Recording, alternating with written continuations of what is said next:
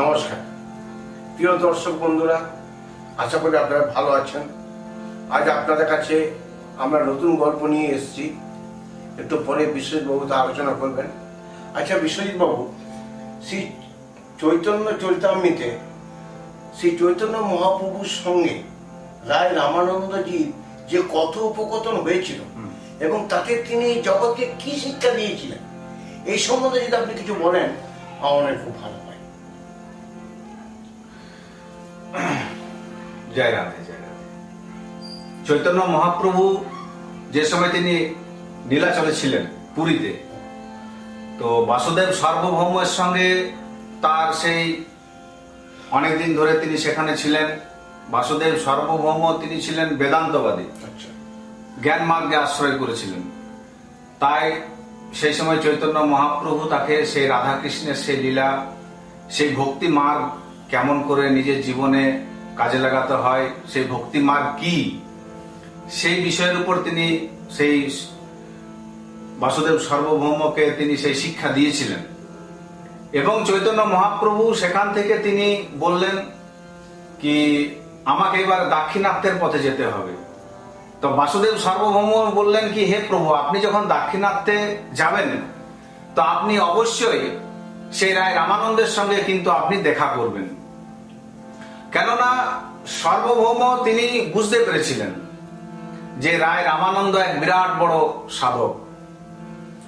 এবং তার সঙ্গে সেই কটকে রাজসভাতে তার সঙ্গে অনেক শাস্ত্র বিষয়ে আলাপ আলোচনা হয়েছিল। তো তার মধ্যে তিনি কিন্তু বুঝে গেছিলেন যে রায় রামানন্দ কিন্তু আর দশজনের মতন নয়। তাই বললেন, হে প্রভু, আপনি যখন যাবেন, তো সেখানে কিন্তু আপনি অবশ্যই সেই রায় রামানন্দের সঙ্গে অবশ্যই দেখা করবেন। তো মহাপ্রভু সেখান থেকে রওনা হলেন এবং বাসুদেব সর্বভৌম সেখানে অনেক দূর এলেন। শেষে চৈতন্য মহাপ্রভু বললেন কি, হে আচার্য, আপনি ফিরে যান, আমি ঠিক চলে যাব।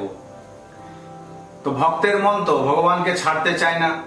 তো সেইখানে থেকে তিনি এলেন সেই উড়িষ্যার শেষ প্রান্তে। এবার অন্ধ্রে প্রবেশ করছেন। তো সেই রাজমাহিন্দ্রী অঞ্চলে তিনি এলেন গোদাবরী তীরে। গোদাবরী তীরে তিনি এসে সেখানে তিনি স্নান করলেন, পুজো করলেন, তর্পণ করলেন এবং তিনি এক বৃক্ষতলে বসে আছেন। সেই সময় চৈতন্য মহাপ্রভু দেখতে পেলেন যে পালকিতে করে একজন আসছেন এবং তার সঙ্গে অনেক বাদ্যযন্ত্র, অনেক সৈন্য সামন্ত এবং অনেক ব্রাহ্মণও আছেন। তারা সকলে এসছেন। তো চৈতন্য মহাপ্রভু দেখলেন এ তো যে কেউ নয়। এ তো নিশ্চয়ই খুব প্রভাবশালী ব্যক্তি। তো সেই রায় রামানন্দ সেখানে স্নান করলেন, জপ করলেন, তর্পণ করলেন এবং তিনি দেখতে পেলেন দূর থেকে যে এক নবযুবক সন্ন্যাসী। তা আমাদের ভারতবর্ষের নিয়ম আছে যে যদি কোনো সন্ন্যাসীকে দেখা হয়, তাকে শ্রদ্ধা, ভক্তি এবং প্রণাম নিশ্চয়ই করতে হয়। তো রায় রামানন্দ তাই করলেন। এলেন সেই চৈতন্য মহাপ্রভুকে তিনি প্রণাম করলেন নবযুবক সন্ন্যাসীকে। প্রণাম করার পর চৈতন্য মহাপ্রভু বললেন, আমার মনে হচ্ছে আপনি কি সেই রায় রামানন্দ? রায় রামানন্দ বললেন হ্যাঁ আমি রায় রামানন্দ। এই রায় রামানন্দ ছিলেন জাতিতে কায়স্থ। তার আসল নাম ছিল রায় রামানন্দ পট্টনায়ক। মহারাজ প্রতাপরুদ্রের অধীনে তিনি কাজ করতেন। এবং সেই অঞ্চলের শাসনভার তার উপরেই ছিল। তাহলে বুঝতে পাচ্ছেন সে কিন্তু আমাদের মতন সাধারণ ব্যক্তি নয়। তার এক বিরাট প্রভাব সেখানে আছে। সেই সময়তে চৈতন্য মহাপ্রভু তাকে বুকে আলিঙ্গন করলেন, জড়িয়ে ধরলেন এবং বললেন যে, আপনার সঙ্গে আমার অনেক দরকার আছে। আপনার কাছ থেকে সেই কিছু কথা আমি শুনতে চাই। তো এক ব্রাহ্মণ চৈতন্য মহাপ্রভুকে নিজের ঘরে তিনি ভোজন করার জন্য নিমন্ত্রণ দিলেন। তো সন্ধেবেলাতে চৈতন্য মহাপ্রভু সেই সেখানে আছেন ব্রাহ্মণের গৃহে। দেখুন, এটা হচ্ছে চৈতন্য চরিতামৃতের মধ্যলীলা, অষ্টম পরিচ্ছেদ। তো সেই সন্ধেবেলাতে রায় রামানন্দ এসছেন। চৈতন্য মহাপ্রভু খুব খুশি হলেন। কিন্তু চৈতন্য মহাপ্রভুর না আছে তার শিখা, না আছে সেই কণ্ঠে তুলসীর মালা এবং না আছে তার তিলক।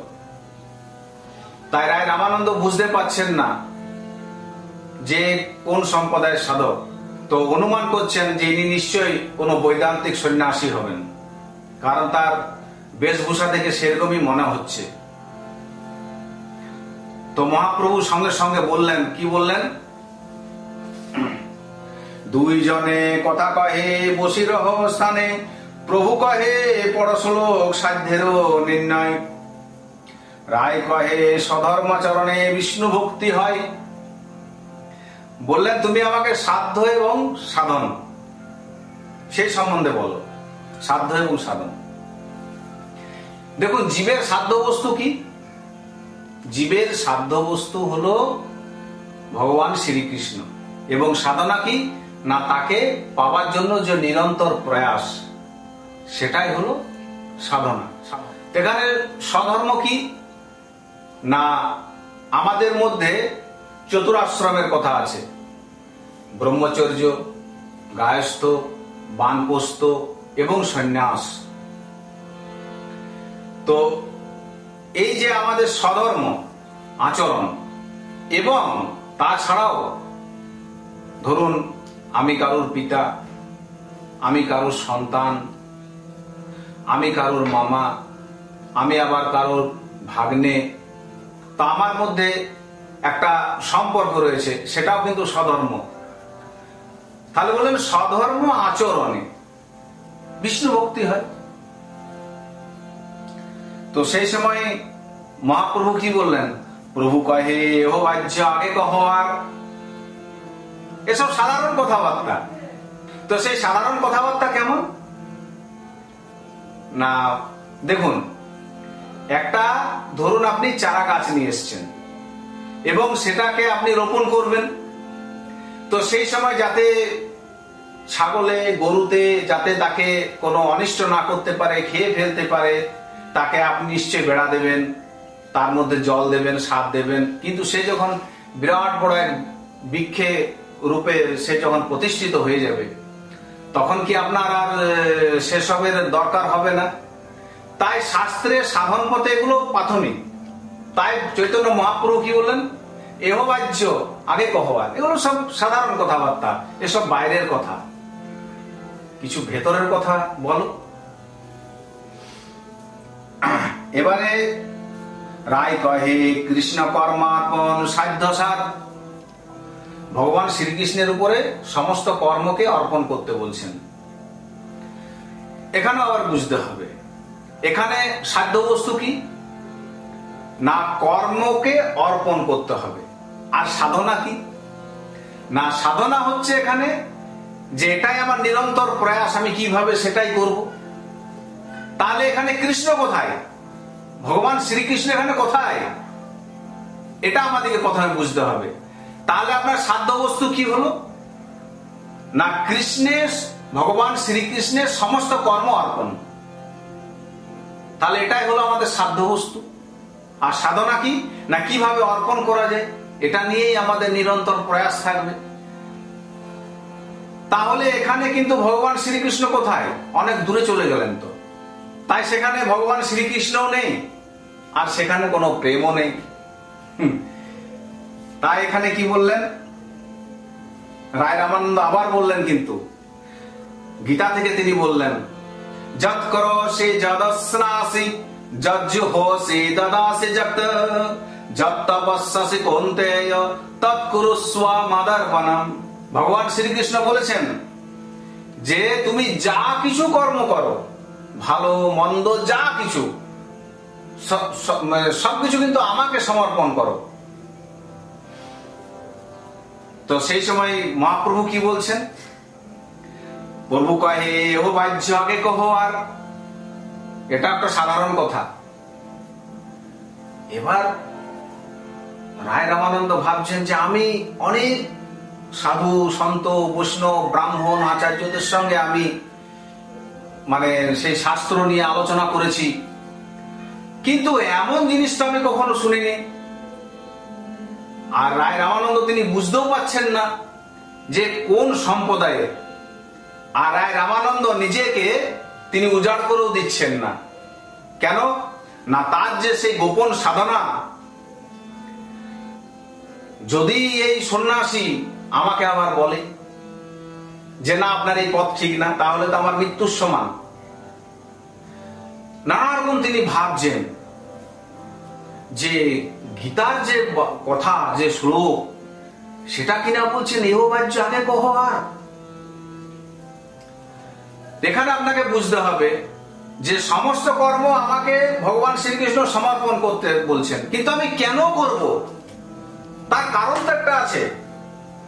কারণ জানা দরকার। এগুলো সব উচ্চ মার্গের। রায় কহে সধর্ম ত্যাগ এই সাধ্য সার। সধর্ম অর্থাৎ কর্মবন্ধন থেকে মুক্ত হওয়া। কর্মবন্ধন থেকে মুক্ত হতে বলছে। তাহলে এখানে আপনার সাধ্য বস্তু কি? কর্মবন্ধন থেকে মুক্ত হওয়া। আর সাধনা কি? এটাই নিয়ে আপনার নিরন্তর প্রয়াস থাকবে। তাহলে এখানে ভগবান শ্রীকৃষ্ণ নেই, কোনো প্রেমও নেই। তাই